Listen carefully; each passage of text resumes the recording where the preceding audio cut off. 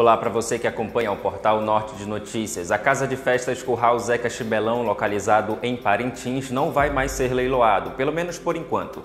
A Casa de Festas é de propriedade da Associação Cultural Boi Bumbá Caprichoso e é onde a agremiação realiza os ensaios para o Festival Folclórico de Parintins. O leilão foi suspenso nesta segunda pelo juiz Djalma Monteiro de Almeida, do Tribunal Regional do Trabalho da 11ª Região.